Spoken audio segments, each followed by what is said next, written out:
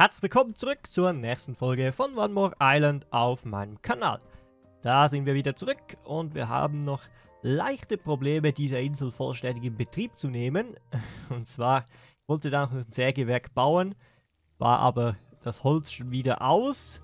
Deshalb warten wir gerade noch darauf, bis hier ein Schiff gebaut wird, damit wir dann ja, nochmals ein bisschen Holz rüberbringen können und dann können sie sich selbst helfen. Dann können wir hier ein paar Bäume roden und können so immer wieder Bretter produzieren. Das wäre soweit das Ziel. Da spricht die schon wieder in mein Wort. Hopfen wird produziert hier. Ich glaube, erster müsste auch schon angekommen sein. Bin mir nicht sicher. Und hier müssten wir jetzt die Brauerei. Wo ist denn der schon wieder her? Der hungert hier. Der hat hier alles. Muss nur ein bisschen schauen, dann bekommt er auch, was er will. So, ich glaube, das Schiff ist fertig. Fahren wir einmal darunter. Ja, wir brauchen dazu auch noch Weizen. Und müssen schauen, dass wir unsere Weizenproduktion drastisch erhöhen. Das wäre auf jeden Fall das Ziel. Wie sieht es mit dem Weizen aus? Ich denke, diese Ecke könnte ich alles auch noch eine Farm machen. Ja, da habe ich aktuell nicht wirklich eine Verwendung. Und ja, wir könnten die Schweine noch ein bisschen ausbauen. So. Das lässt sich ja da leider nicht verbinden. Hm. Weil Wurstwaren sind eher rar. Ja, eher ganz rar. Es ist aber auch... Gut, ich glaube aktuell... Ja, es fehlt da auch absolut am Weizen. Und ihr seht, es braucht vier Weizen und vier Hopfen für zwei Bier. Und das muss vier mal vier sein, mindestens. Die, die Ecke würde ich gerne frei halten, aber hier unten hätte es Platz. Beispiel so. Das wäre doch für eine gute Brauerei da. Einmal so. Einmal so. Ja, da machen wir die Tür oben, wenn es wieder mal nicht mittig ist. Ah. Machen wir mal schnell in die Forschung. Brücken haben wir erforscht. Hier brauchen wir Bier dafür. Da Wurst. Ja, komm. Machen wir da gleich mit der Wartung weiter. Dann... je günstiger sie ist, desto besser, muss man sagen. So, also hier wird gebraut. Ich mach mal zwei davon. Hm, wir haben Zutatenkisten. Bierschrank und Bierfass.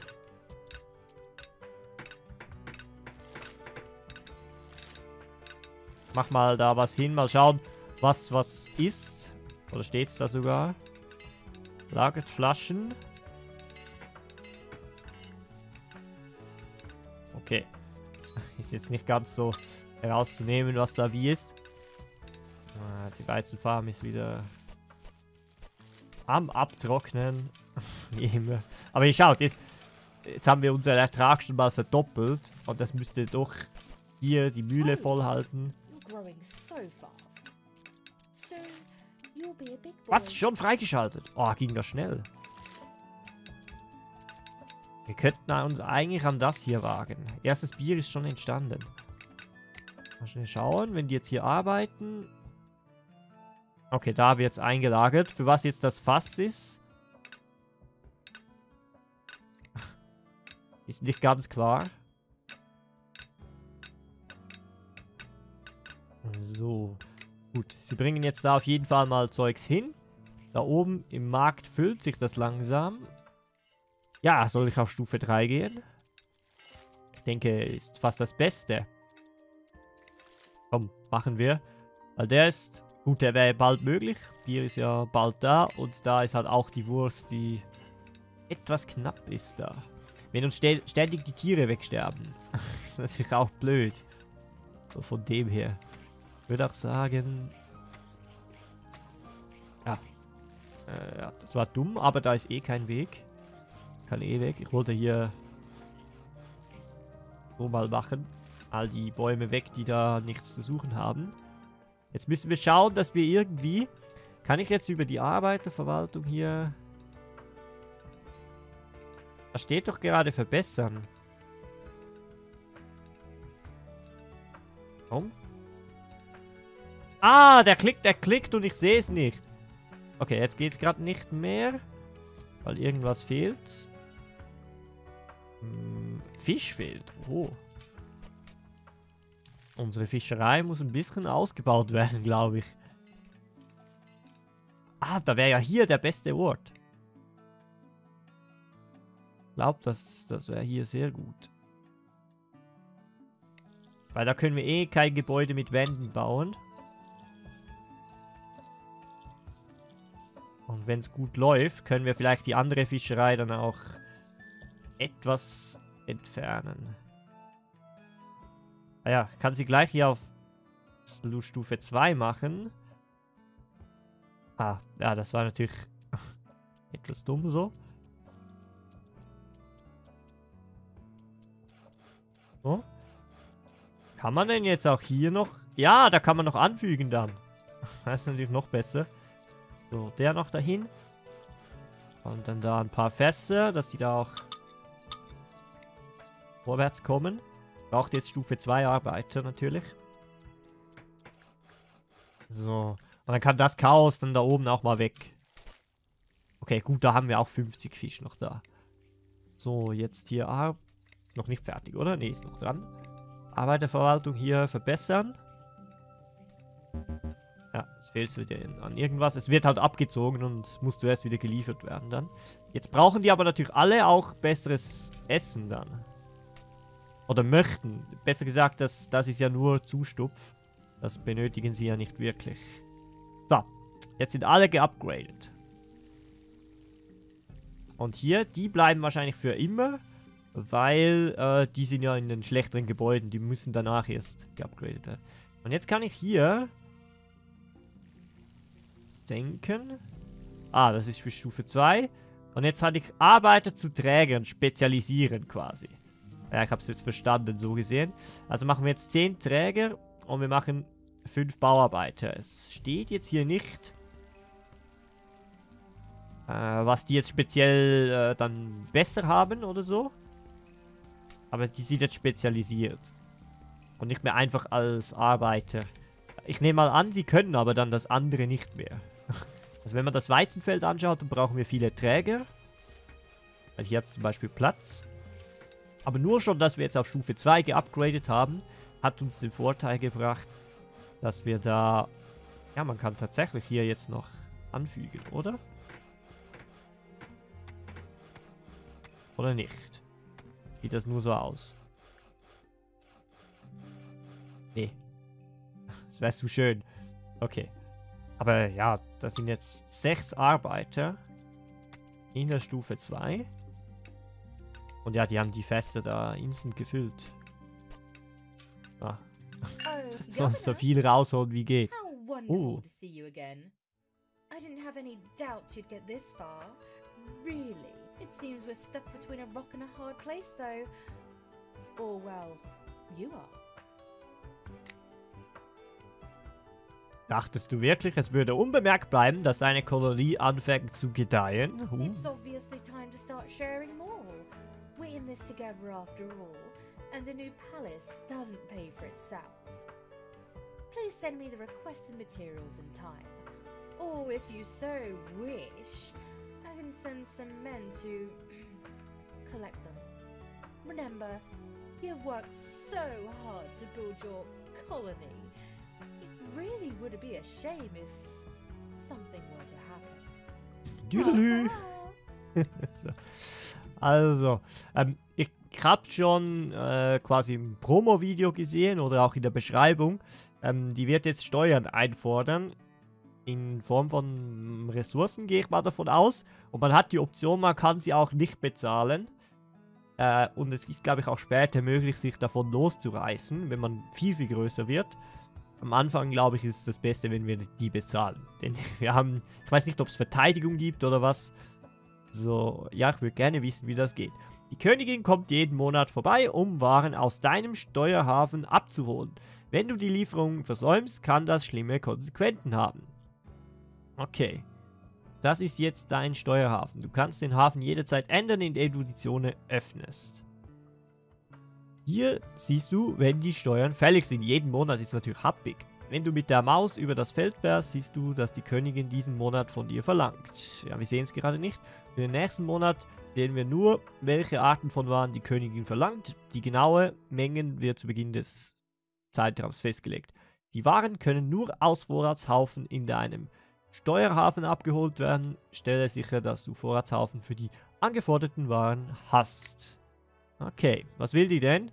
Die will 18,3 Fische und 8,5 Brot. Und in 56 Tagen... Hä, ich habe gedacht, je, ah ja, es ist ja erst Anfangsmonat.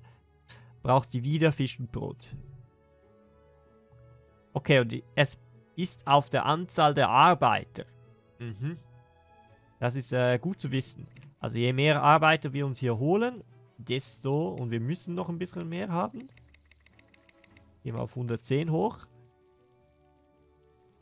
Äh, es ändert sich jetzt aber nicht für diesen Monat, sondern erst für den nächsten. Das ist auch noch wichtig da zu wissen. So. Und wir haben jetzt schon wieder 14 Stufe 1, die ich da zu Stufe 2 verbessern würde, wenn wir die Ressourcen hätten. Und wir haben jetzt schon Stufe 3 bekommen. Die 11 tragen können anstatt 9 oder 7 und 12% schneller unterwegs sind anstatt 6 und 0. Also, ja. Heißt, habe ich ja eine abgestiegen. Komischerweise. Weiß auch nicht. So. Und wir haben neue Dinge bekommen. Genau, neue Zonen verfügbar. Schauen wir doch da mal rein. Das diesmal nicht mehr so gemein, eine ganze Seite. Baumwollplantage. Böt Böttcher. Er macht aus Holz und Eisen ein Fass. Böttcher. Kaffeeplantage, Kaffeerösterei, Küche, Kuhfarm, Lehmgräber, Schneiderei, Weinberg, Weinkellerei, Ziegelei. Gut zu sehen, was es da alles Neues gibt. Ja, das könnte irgendwann dann richtig schwer werden da. So, und ich glaube da wieder ein paar ja, vertrocknete Früchte, wie immer, wie man es kennt. Oh. Okay, ich glaube Fischerei läuft gut. Außer wir haben zu wenig Arbeit, um sie zu bewegen. Ich weiß nicht. Das geht. Ich würde auch schauen, dass wir hier... Eigentlich gerade hier könnten wir ein zentrales Lager machen. Das wäre relativ gut. Und wir müssen auch beim Markt schauen. Da kommt dann so ein... Ja gut, der Marktstand würde noch hinpassen. Also für den Moment könnten wir sagen, hier geht der Weg durch. Da nach oben. baue den mal so ein hier. Ah, ich hoffe, die laufen dann auch auf dem, anstatt dann darum. Können wir den Rest abreißen da. Gut. Also wir haben jetzt Möglichkeiten, Dinge abzugraden. Ich schaue vielleicht mal in die Forschung. Hier. So, für die Stufe 4 brauchen wir dann konserviertes Fleisch, Wein und ausgefallene Kleidung. Also alles in der oberen Stufe.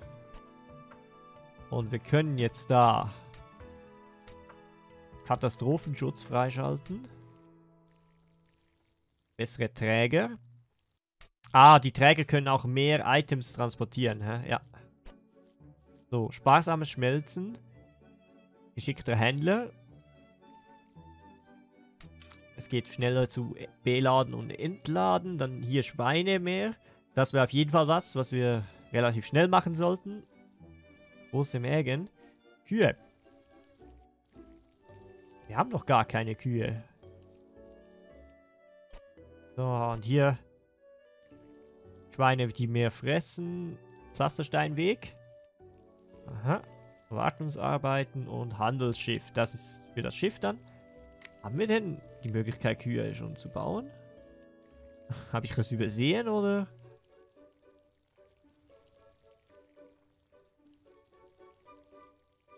Da gibt es ja rohes Rindfleisch. Habe ich Ah, da, Kuhfarm. Ich habe es ja... okay. Habe es sogar vorgelesen wahrscheinlich.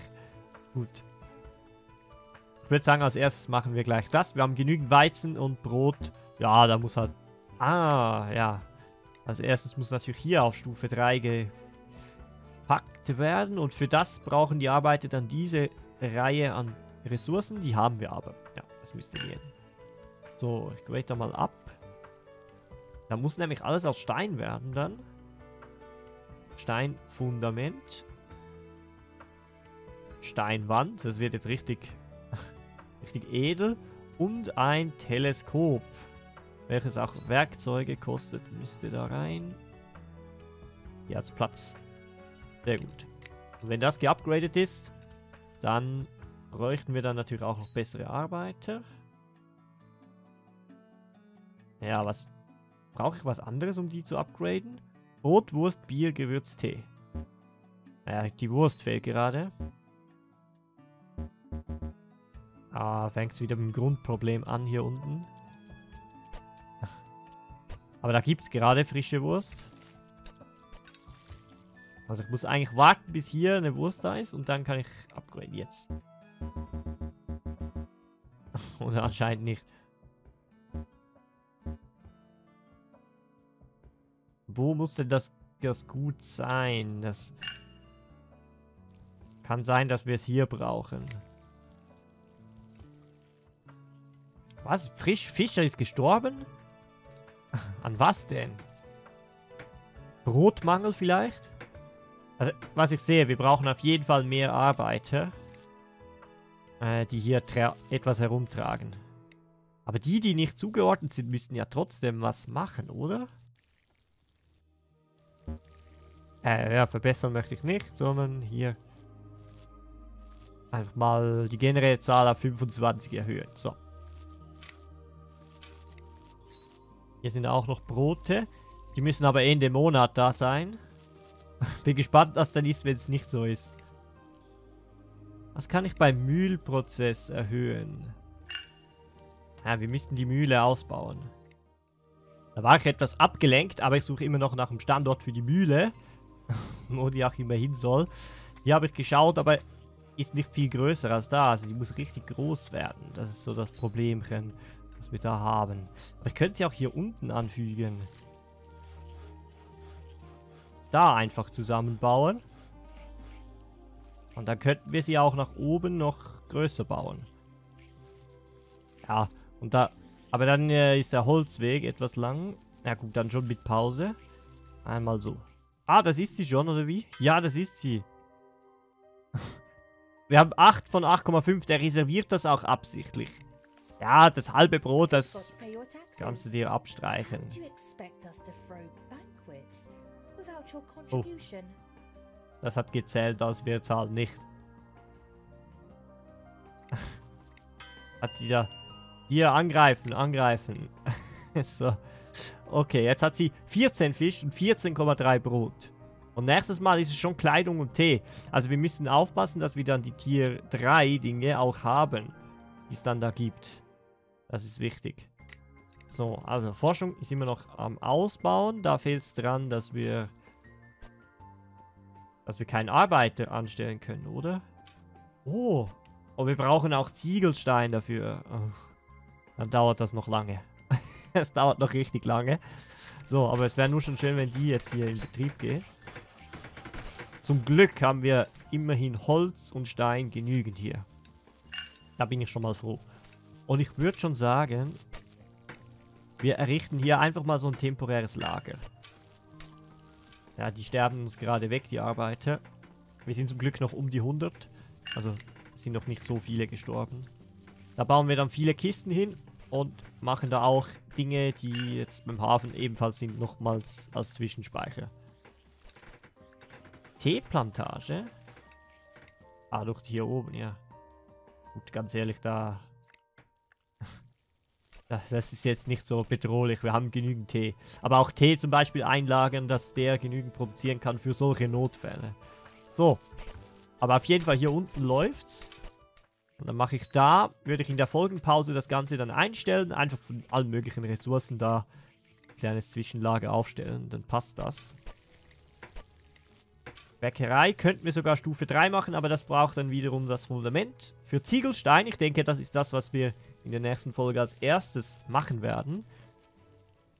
Dass wir die Ziegelsteine haben. Fleisch ist nach wie vor das, was am knappesten ist. Ja, Weißen zum Beispiel muss hier Großes Lager rein. Brot natürlich auch. Äh, ich würde auch mal Baumstämme machen, dass das nicht alles rumliegt hier. Ja. Und dann schauen wir weiter. Aber die Majestät war da. Ja, sie hat von uns fast alles mitgenommen, was sie wollte. Also kann eigentlich zufrieden sein. Und die verhungern immer noch. Obwohl alles da ist. Es ist eigentlich erstaunlich. Wir haben ja noch keine Stufe 3 Leute hier, also wir brauchen eigentlich nur das da. Aber ja, das Rot ist halt auch knapp. Was hat sie?